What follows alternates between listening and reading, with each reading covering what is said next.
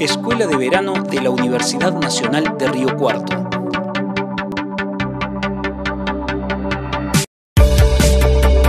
Actividades recreativas, deportivas y educativas orientadas a mejorar la calidad de vida y competencias motrices de niñas y niños.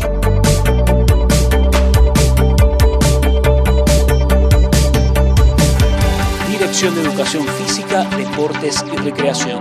Secretaría de Bienestar. Universidad Nacional de Río Cuarto.